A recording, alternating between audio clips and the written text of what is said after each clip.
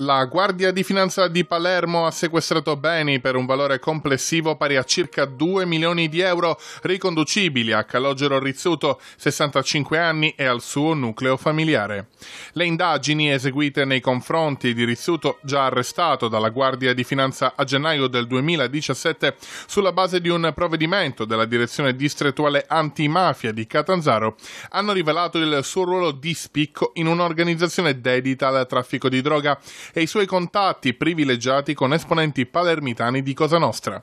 Già nel 2005, infatti, era stato arrestato per i suoi traffici illeciti insieme ad altre persone, tra i quali Mario Adelfio, 50 anni, vicino alla famiglia mafiosa di Palermo Villagrazia. A seguito delle indagini patrimoniali è emerso come Rizzuto avesse investito i proventi illeciti nel traffico di droga in attività commerciali di pregio, sia a Roma che a Ro, nel milanese, e le avesse intestate in maniera fittizia ai propri familiari. Tali risultanze hanno portato al sequestro disposto dalla sezione misure di prevenzione del Tribunale di Palermo di aziende, rapporti finanziari e immobili, tra i quali spiccano una villa di ampie dimensioni con piscina e arredi di lusso, una ditta individuale esercente l'attività di barberia a Roma ed un ristorante nella provincia di Milano.